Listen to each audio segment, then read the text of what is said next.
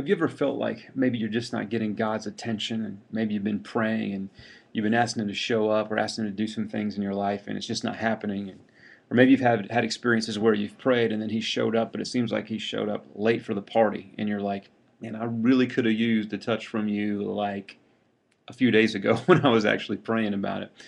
Well, there's an interesting uh, story in John chapter 11 with uh, a couple sisters named Martha and Mary, and they have a brother called Lazarus who is sick. And so Jesus gets word that that uh, Lazarus is sick, and then his reaction is kind of weird. In John chapter 11 and verse 5, it says, Now Jesus loved Martha and her sister, and he loved Lazarus.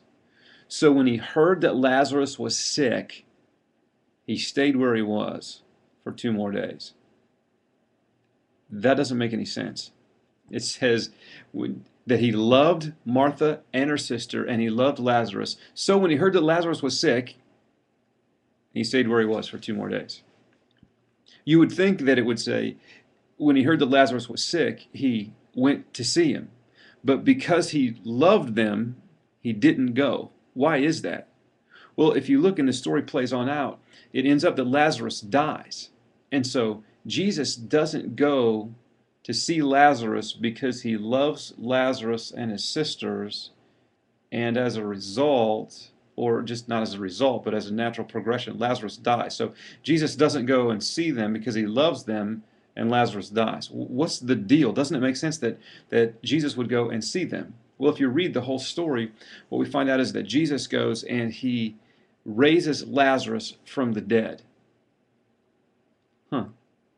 So Jesus had a choice. He could go see Lazarus when he was sick and heal him, or he could perform a greater miracle and go see Lazarus when he was dead and raise him from the dead. And it says that Jesus loved these three, and because he loved them, he chose to provide the greater miracle in their life.